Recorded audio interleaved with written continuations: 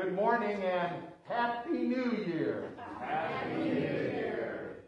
Isn't it wonderful to gather for worship at Lafayette on Sunday, January 2nd in the new year? And we want to acknowledge those who are watching virtually, those who are watching through Drive Up. You are an important part of this Christian family wherever you are. Remember to text me if you have a joy or a concern. My number is on your insert in your bulletin.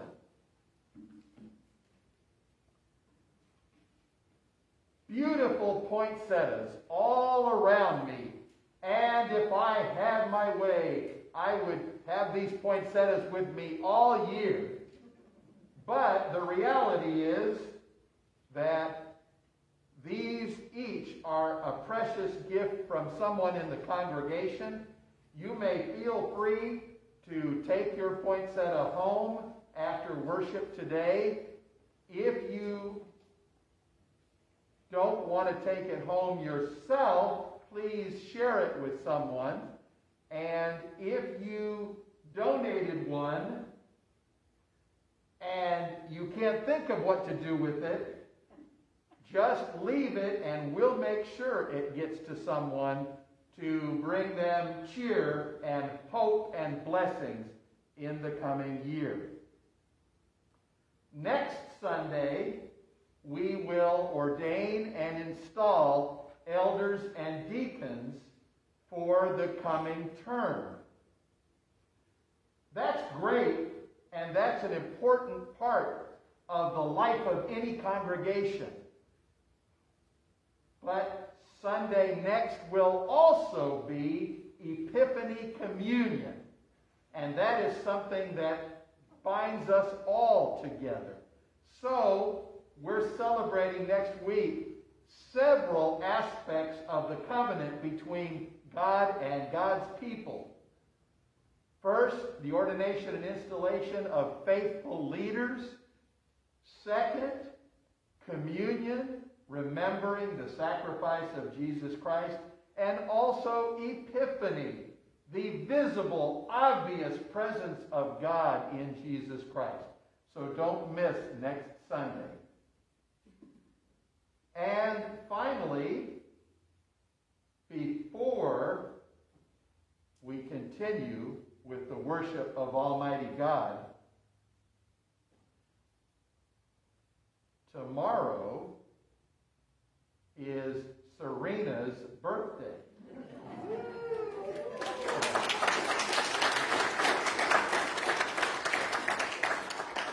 And we're going we're not going to force her to play happy birthday for herself.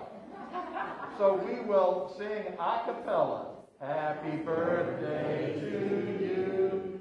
Happy birthday to you. Happy birthday,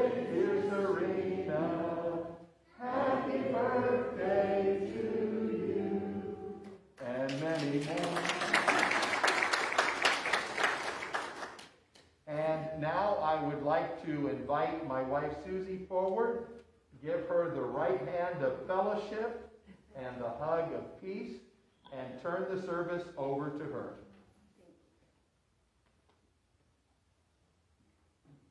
Happy New Year again. Happy New Year. Happy New Year. Let us now call ourselves to worship. A new day has dawned, a new year begun. We enter this year with hope and excitement. O Lord, keep us in your ways and on your paths. Inspire us to sing a new song. Open our hearts to worship and praise your name.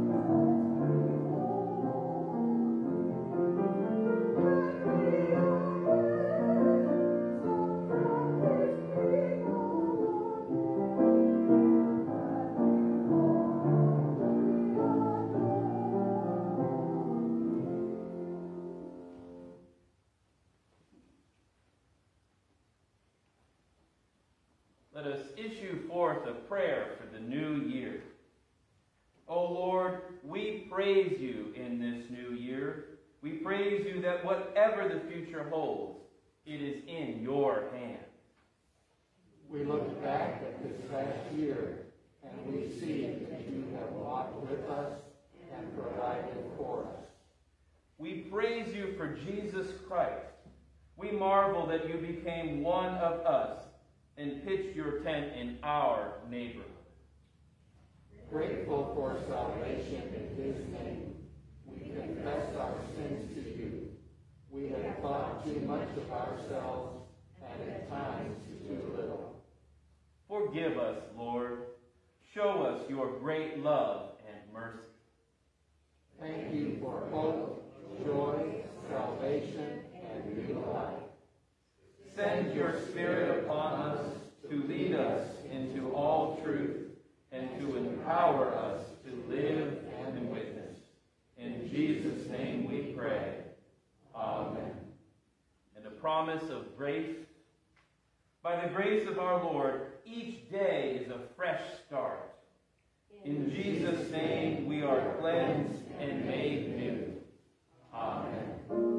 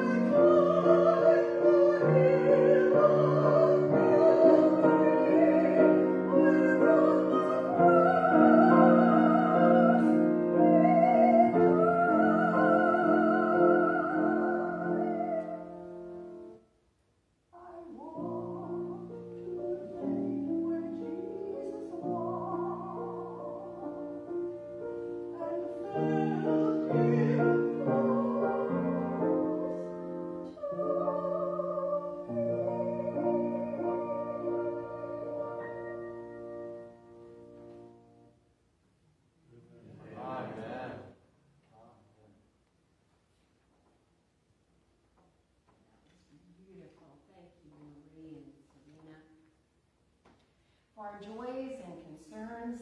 We have kind of a long list today. We've got to keep those prayers coming.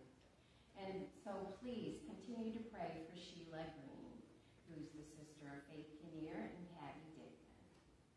And please pray for Richard McElveen. He had a fall this week and is facing possible hip surgery.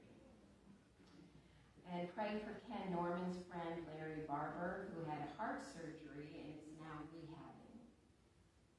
And pray for Brett Epperson's family as his Uncle Steve passed away after a long battle with cancer.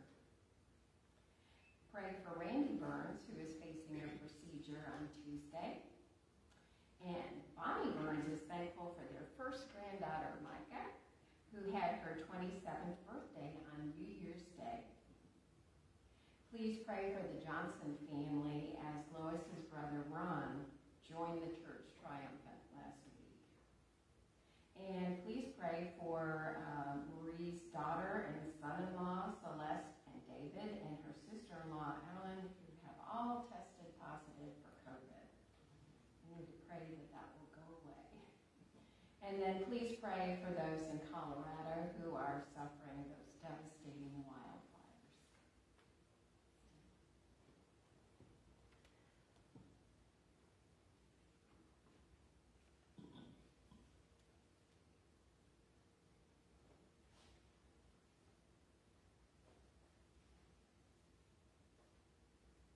And Marlene Wynell adds uh, concerns for Brett Epperson and his family upon the loss of Brett's Uncle Steve.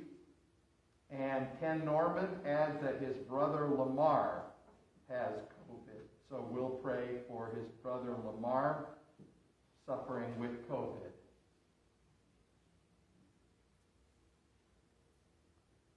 Let us come before God in prayer.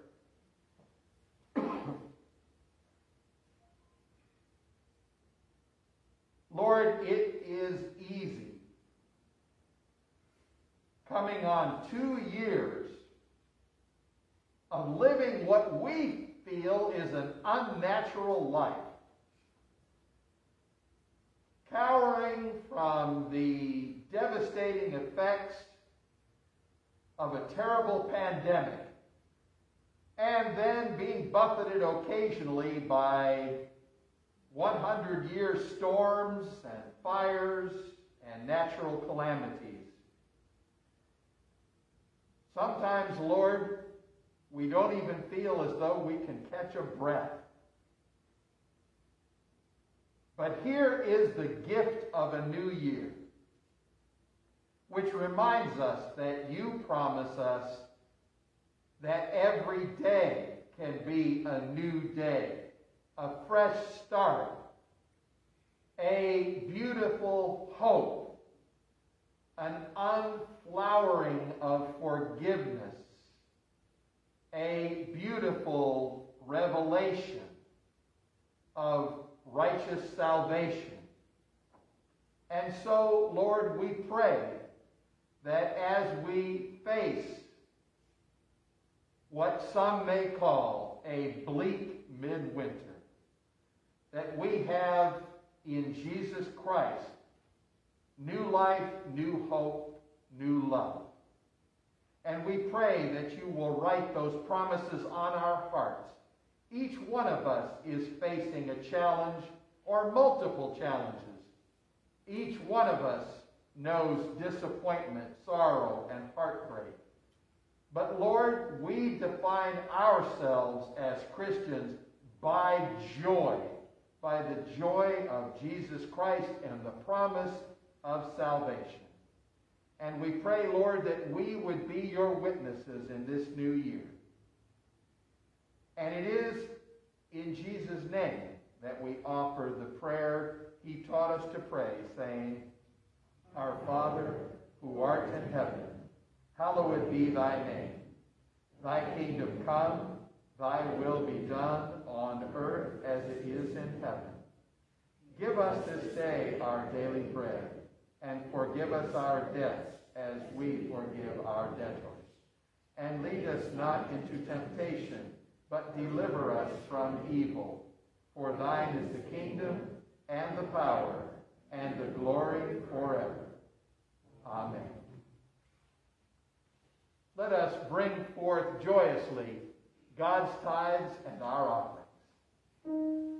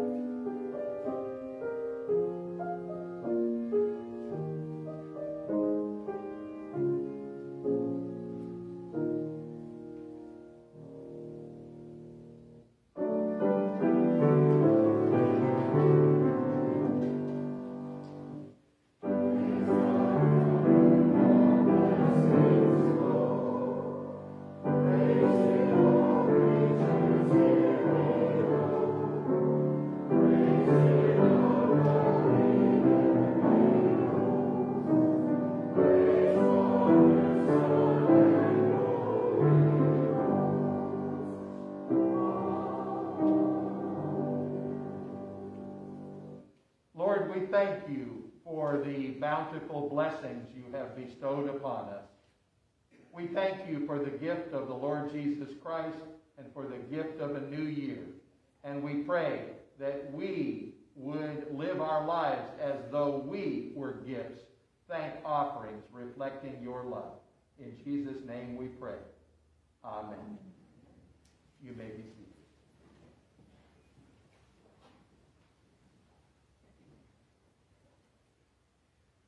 Our scripture reading for today comes from the Gospel of John, chapter 1, verses 1 through 9. In the beginning was the Word, and the Word was with God, and the Word was God. He was in the beginning with God. All things came into being through him, and without him not one thing came what has come into being in him was life, and the life was the light of all people. The light shines in the darkness, and the darkness did not overcome it. There was a man sent from God whose name was John. He came as a witness to testify to the light, so that all might believe through him. He himself was not the light but he came to testify to the light. The true light, which enlightens everyone, was coming into the world. This is the word of the Lord. Thanks be to God.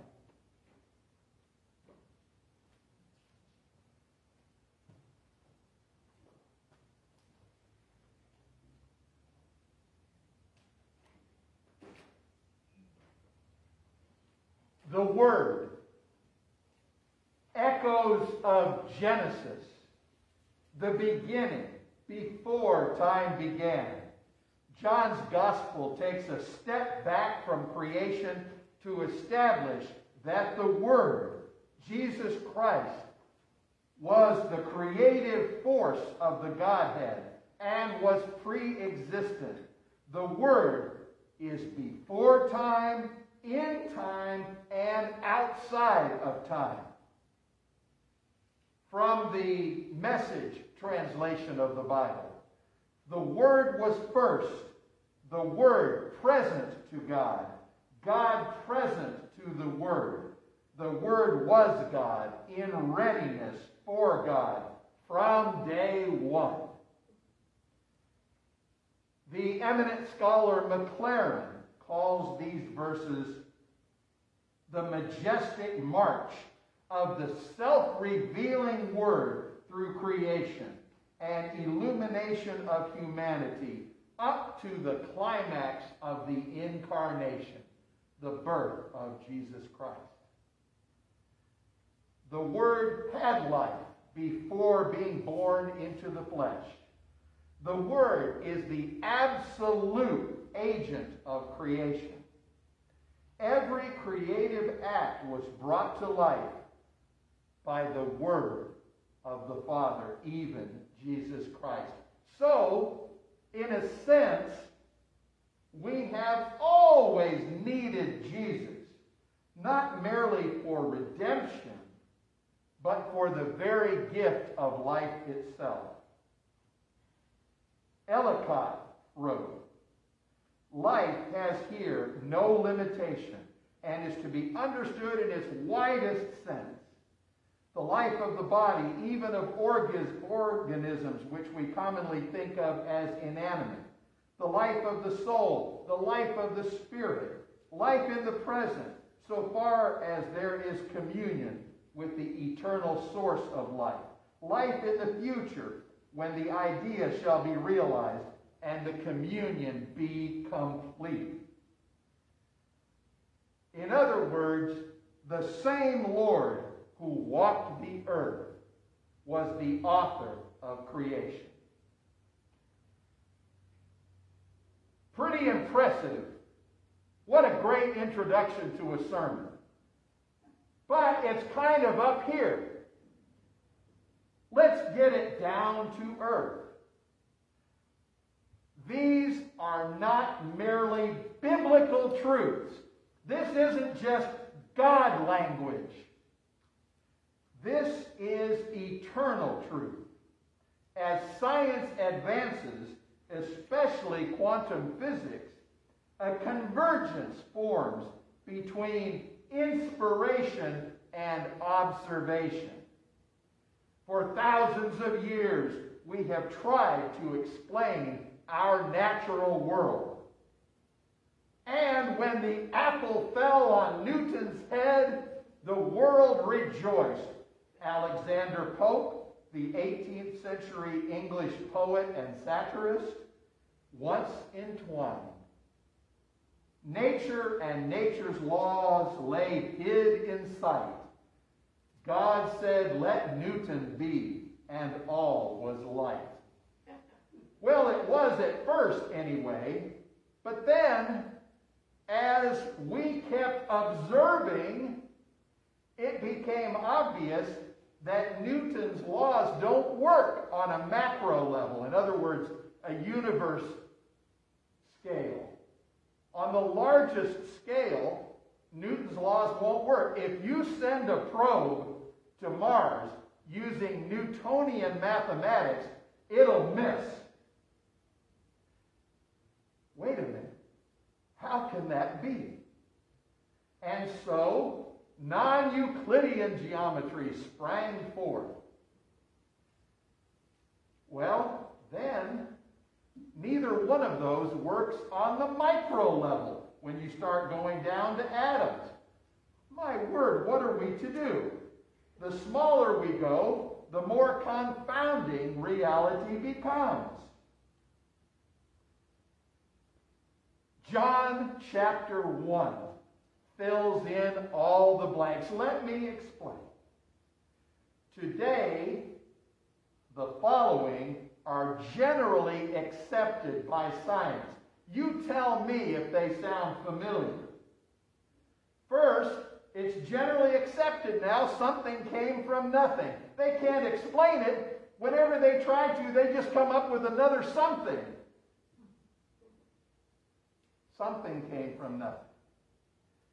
Now it's agreed with shrugs on the shoulders of the scientists that there was something before the Big Bang. Yes, there was, and we know what it was. Also, now, scientists generally agree that the universe observes everything and that every observation changes objective reality. Oh, God bless them. They're trying so hard to avoid saying God, aren't they? Well, science is desperately trying to explain what we already know, but can never bridge the gap. Because existence cannot be explained by laws, theories, hypotheses, or evidence. Existence cannot explain consciousness. And consciousness cannot explain forgiveness, compassion, hope, mercy, salvation, or love. 2,000 years ago, in the fullness of time, the Word became flesh. And through the Word was completed the circle of covenant between God and creation. This is not merely biblical truth. It is eternal and universal truth. With apologies to Alexander Pope, I offer truth lay hid till heaven stirred, and now in Christ we know the Word. I want to conclude with observations on John chapter 1. This is a point of personal privilege. I had a professor in college that meant the world to me. More than a professor, more than a mentor, more than a friend. He shaped my life. Dr. Timothy Gamlin. Even though he was only a decade older than most of us. He passed away in 2021 and his wife sent me these observations on John 1 saying that Tim would have wanted me to have this.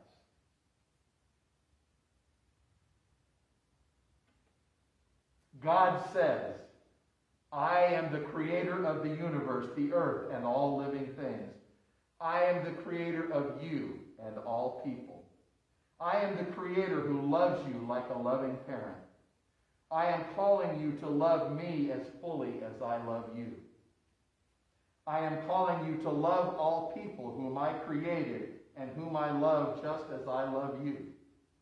I'm calling you to know your brokenness whenever you fail to love God or to love all people.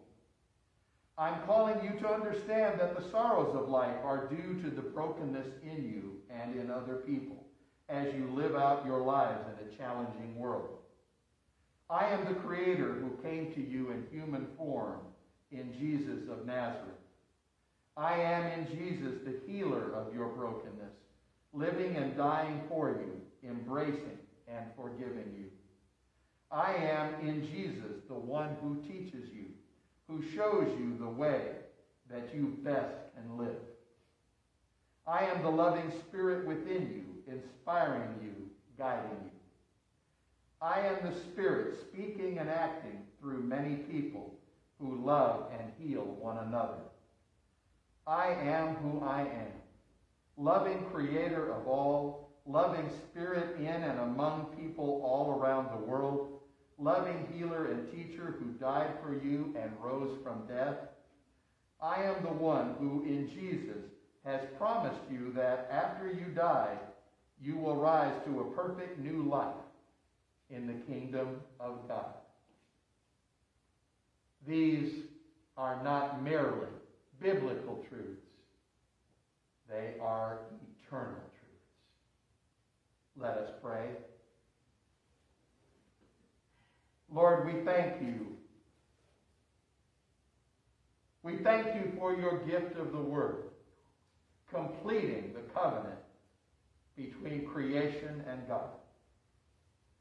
We thank you that we have a personal relationship It isn't just an amalgamation of all heavenly promises in a huge ball that can't be penetrated by human vision, but rather it is a personal and profound commitment of our God in Jesus Christ to each one of us. We thank you in Jesus' precious and holy name. Amen. In body or in spirit, please join me by standing for the hymn of parting. To God be the glory.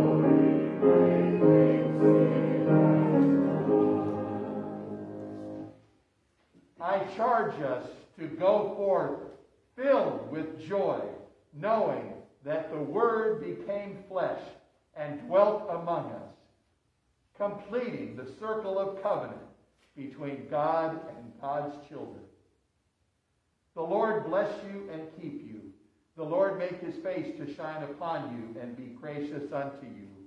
The Lord lift up his countenance upon you and give you peace this hour and forever. Amen. You may be seated that the ushers might excuse us by rote.